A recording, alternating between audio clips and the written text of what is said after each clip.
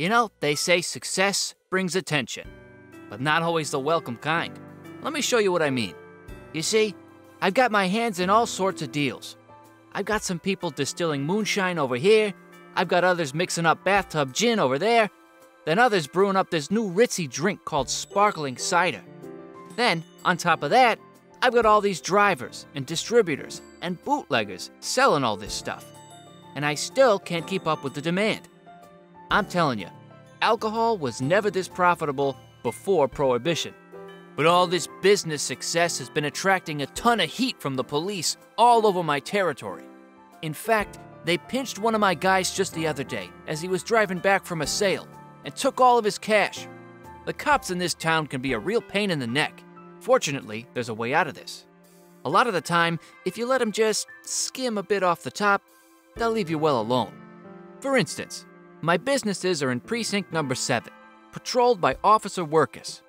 I know how this town operates, and I was sure that if I got to know her a little bit better, we could come to some kind of an arrangement. So I looked to see who we might know in common. And imagine this we're both friends with my old pal Liz Novikov. So I drove over to Liz's and asked her, Hey, can you get me a friendly intro to our beat officer? She agreed to help me, and that got me an in.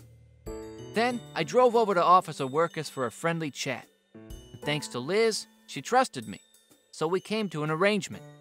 She got some contributions from me, and I got a reprieve from the boys in blue. At least for a while. It wasn't cheap, but hey, if you want to get to the big leagues, you gotta play ball.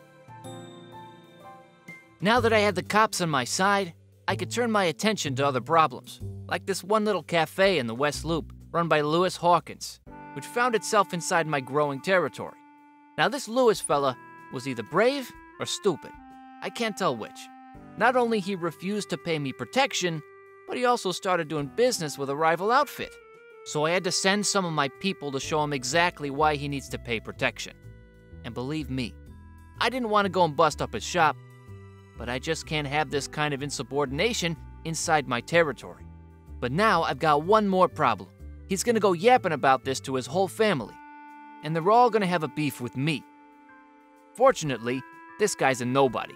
But remember, you'll need to be judicious in how you assert your power. Speaking of which, Kyle and the crew have been getting on my nerves. These corner loafers keep harassing my suppliers in the area, and I can't get any deals done. So, as the final course of action, I sent my fellow Willard Novikov, Liz's brother, to go and pay him a visit with a baseball bat. He likes to use a bat for these kinds of conversations. It's an effective instrument for somebody strong and tall. And once they were done, Kyle and the crew were sending their apologies from the Cook County General Hospital. And my suppliers were thankful we could get back to business once again.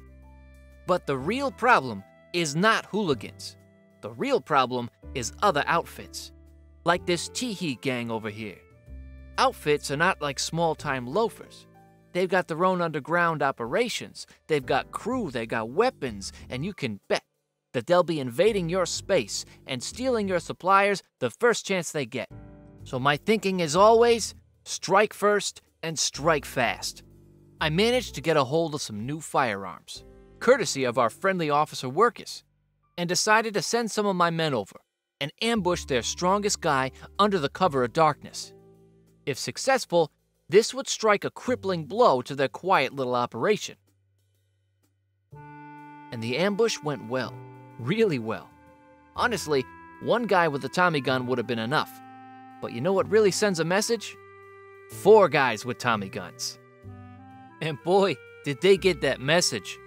The Teehees are now red hot mad, and they're pledging a vendetta, as the Italians say. I think they'll cool down in a bit, but for now, me and the boys really have to watch our backs. It's gonna be a dangerous year.